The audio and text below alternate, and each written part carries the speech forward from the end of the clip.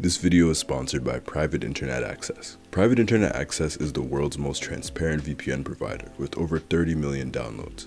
They don't record or store user data, and they have a no logs policy that has been proven multiple times. If you don't know what a VPN is, a VPN is a virtual private network that changes your IP address and reroutes your internet traffic through an encrypted tunnel, hiding your online activity from your internet service provider, network administrator, and government censors. Basically, when you use private internet access, you are completely protected from cyber attacks, malicious websites, trackers, etc. And you get safe and secure downloads. A bonus while using a VPN is that you get access to streaming services from other countries, and I do love American Netflix. Private internet access also works with all major streaming services, which is a double bonus. Plus, it's one of the few VPNs that fully supports peer-to-peer -peer file sharing and torrenting. So if you are interested in using a VPN, you can use private internet access, and by using the link in the description, you can get complete digital privacy for less than $2 a month, and 4 extra months free of charge. Thanks for watching, and I'll see you all soon.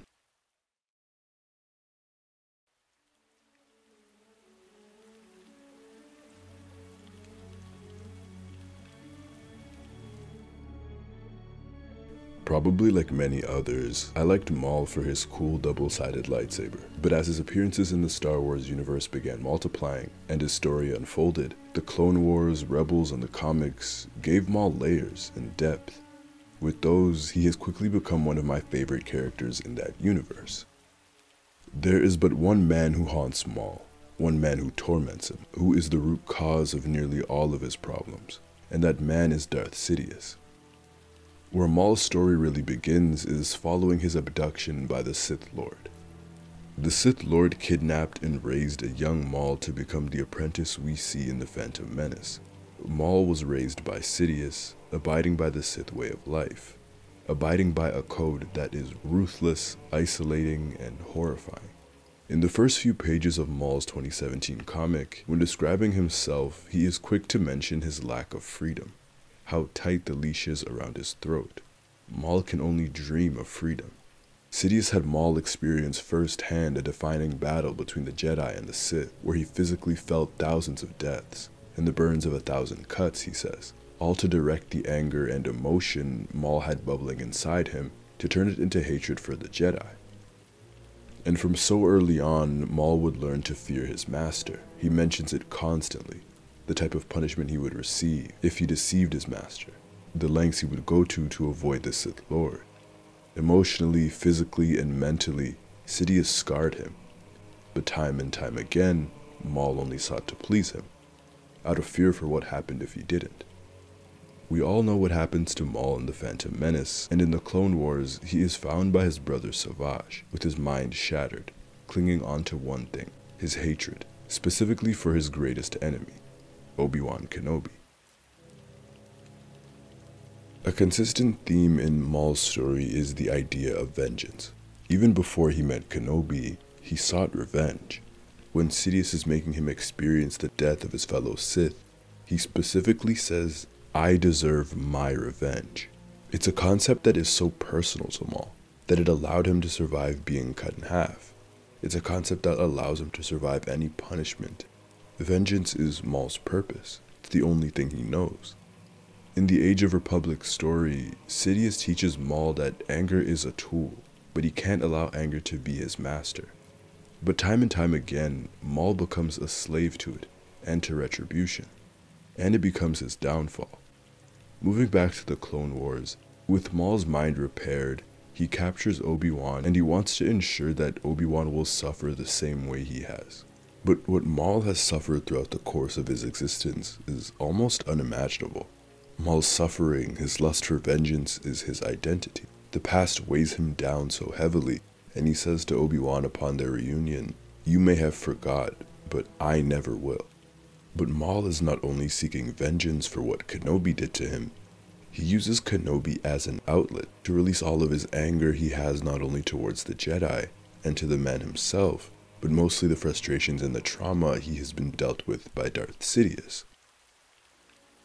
Deep underneath all that rage, Maul sought companionship. And one of the reasons he could never properly pursue that was his master's doing. Sidious and the Sith not only destroyed all the relationships he could ever have, but it destroyed his ability to conceptualize bonds in ways other than the one his master showed to him, through abuse and domination. Sidious saw Maul as the perfect tool to be used by the Sith. Considering the Sith rule of two, that only two Sith can exist at the same time, Maul was paired with a master who never cared for him, in any setting, who only saw others as tools, and this translated into his own relationships, this idea of mentor and apprentice. Beginning with his own brother, Maul loved Savage Opress, but he could only see relations through master and apprentice, and so he made Savage his apprentice. Because he learned that relationships are made through domination, he established this power dynamic, yet still allowing Savage to call him brother. Though Maul was raised a Sith and his guarded nature guided his every interaction with his brother, he does slip up, because Savage shows Maul consistent care and loyalty. There is no betrayal, no backstabbing, no ulterior motives with Savage. He scoured the galaxy for his brother and helped fix him back up. After Savage gets his arm cut off by Obi-Wan, Maul is there to take care of him and to ensure his safety. Finally, after Sidious impales Savage, look at Maul's reaction. He calls Savage brother instead of apprentice. He rushes to his side, holds his brother's hand, and heartbreak was written all over his face. Shortly after Savage's death, Darth Sidious torments Maul once more, orchestrating his mother's death at the hands of Grievous on Dathomir. Sidious truly took everything away from him. After the death of these two, Maul looks towards Ahsoka. Maul and Ahsoka have the same goal, to take down the Empire and defeat Sidious and Maul's proposal for the two of them to join forces and take down Sidious, it's believable. Maul had lost his brother, his mother, his empire. Not only is he lonely, but he needs help, to the point where he even reaches his hand out to Ahsoka. Ahsoka has a master who will betray her and a community who has abandoned her, just like the one that abandoned him. Two tools used for greater powers, he says. They now have a common goal, a shared enemy. When Ahsoka fights him, Maul fights with the intention not to kill, but to talk. And since he can't envision a relationship other than master and apprentice, he tries that with her. But Maul failed once again. Finally, in Rebels, we reach Maul's final showing. A seemingly older, wiser, yet withered Maul. In actuality, not withered, but even more bitter than the last time we saw him. For 14 years, Maul has been alone, all that time he spent calculating his revenge, waiting and plotting, but also longing for a companion. When Ezra comes along, Maul teaches the boy about the Sith, the holocron, and his emotions. He teaches him about the Sith and the Jedi. But he still cannot make out the idea that love cannot coexist with fear, manipulation, and abuse, because that's all he's ever known. He manipulates Ezra from so early on in their relationship, and yet continues to call Ezra his young apprentice. Because the Sith believed in manipulation and deception as fundamental parts of their relationships, Maul expected Ezra to come back to him. Though he only knows what his master taught him, he doesn't treat his apprentices as his master treated him. With Ahsoka, Ezra, and Savage, there was always a level of respect. That expectation is reinforced when the two are on Dathomir, and Ezra refuses to join Maul. And in one final moment, Maul lays it all out on the table. Bearing his emotions, he tells Ezra to forget his memories and his past, and that their destinies converge on the planet with two suns, a place where they could have walked, specifically, he says, as brothers. And you can hear it in his voice, the desperation. Maul is so lonely. Everything he had, everyone he had, his own identity, ripped away from him.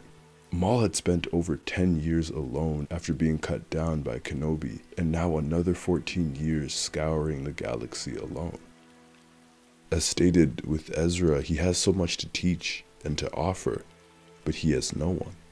Maul is trying to find a love similar to the one Savage had for him, unconditional, a love that was certain. If not that, at least a friend. But Ezra is just another of Maul's failures. Savage, Ahsoka, and now the young Jedi. Despite his efforts, Maul has always been chained down by something. His past, his memories, Sidious, they've always weighed him down. Maul has felt used and betrayed by Sidious and by the Sith. And while the Sith fears no one, Maul fears his former master, the only person he fears, not only for the way he raised him, but for his power. The sheer look on Maul's face when he realizes that Sidious is near. When Maul and Savage fight the Sith Lord, it feels like Sidious was toying with the brothers, pushing them around, laughing. When he fought Mace Windu, it wasn't a laughing matter. But when he got serious, he ended that battle rather quickly. The way he easily impaled Savage and shrugged Maul off. And it was then Maul witnessed firsthand the power of his former master. So much so that Maul begged him for mercy.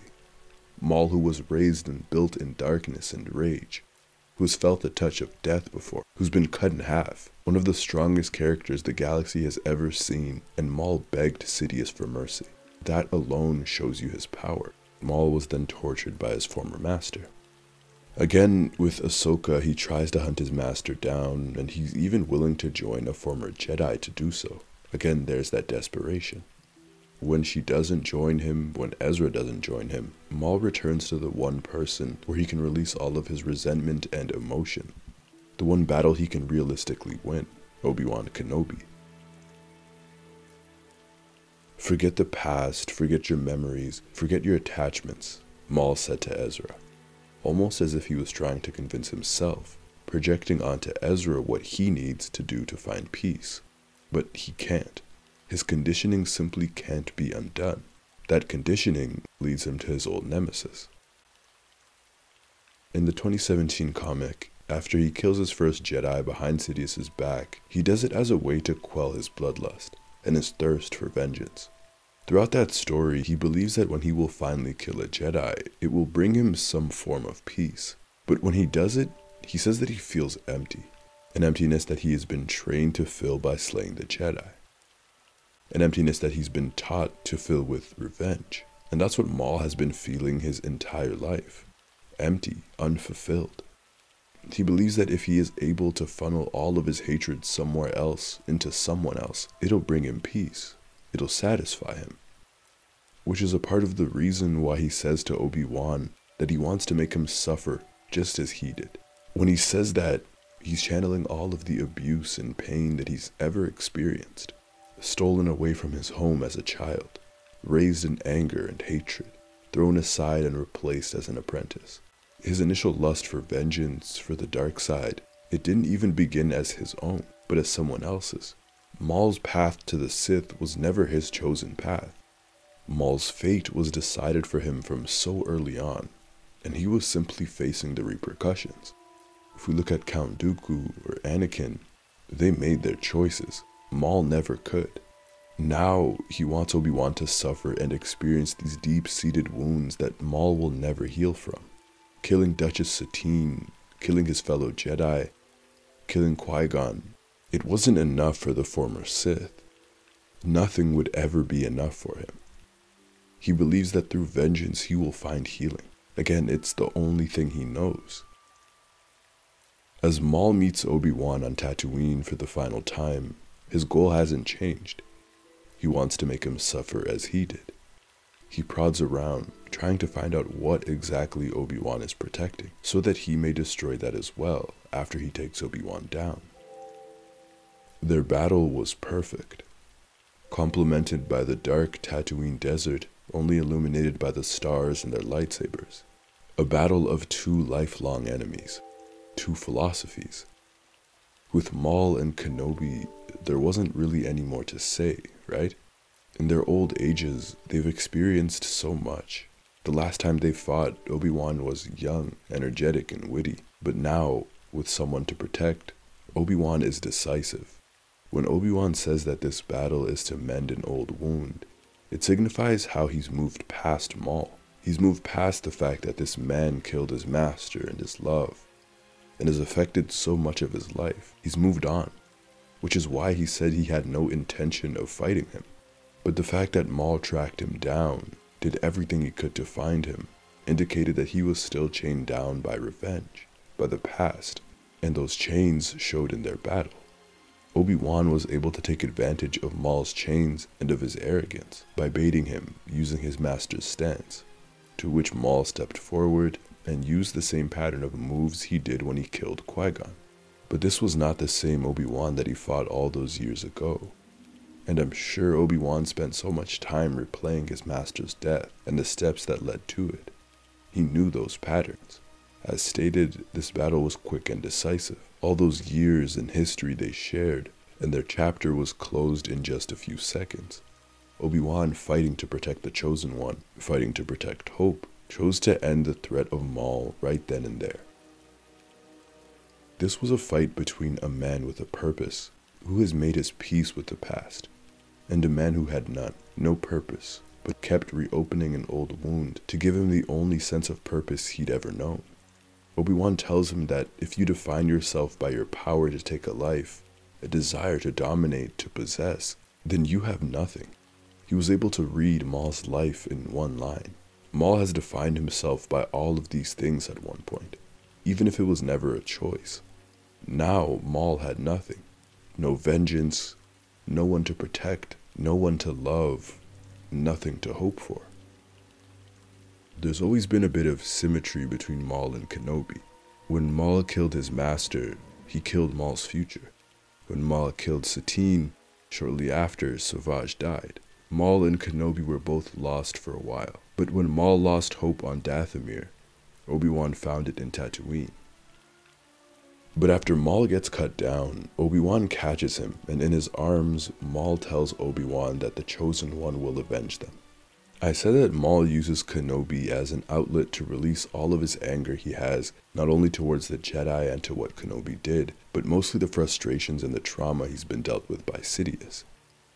Maul knew that there was no exacting his revenge on what Sidious did to him, and this was one of the reasons he chose to seek out his former enemy.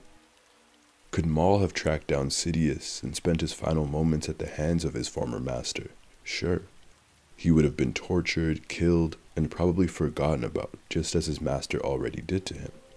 But Maul already had the sentiments of wanting to die, and he mentions that during the siege of Mandalore and I think there was a part of him that knew Obi-Wan would kill him. As a master of the Force, he surely felt Obi-Wan's power was a lot greater than it once was, and he surely felt his intention to protect someone. While I do think he believed that he would defeat his old enemy, I do believe that he knew there was a chance he could die, for two reasons. The first being what he said right before his death, that the Chosen One will avenge them. Maul knew that he and Kenobi were not so different, that their goals aligned at one point, that they still did. Darth Sidious was the root of both of their problems. He was the cause for everything, everyone they've lost, for the pain they've felt. Anakin and Savage, Sidious killed both of their brothers. So the Chosen One isn't only for Kenobi and the Jedi, but the Chosen One is to avenge everything that Sidious and the Sith has taken away from Maul as well. And the second reason is that by dying by Kenobi's blade, at least he dies respected. As stated, Obi-Wan has put the past behind him, now focused on the present and the future of the Jedi. Though he might have cut Maul down for the second time, look at the respect he showed his enemy. Maul was a terrible, terrible person, but Obi-Wan is a Jedi before anything else, and he gives his enemy the respect he never truly got. Obi-Wan caught Maul, as if he knew that there was more to this creature than just rage, and he listened to what he had to say. Kenobi closed Maul's eyes and allowed him to die in his arms. Surely he buried him as well. Maul died having hope not only for himself, but for his lifelong enemy as well. He died in the arms of the only man worthy enough to kill the Darth Maul, the only man who respected him enough to catch him. At least in the failed pursuit of vengeance and companionship, Maul did not die alone.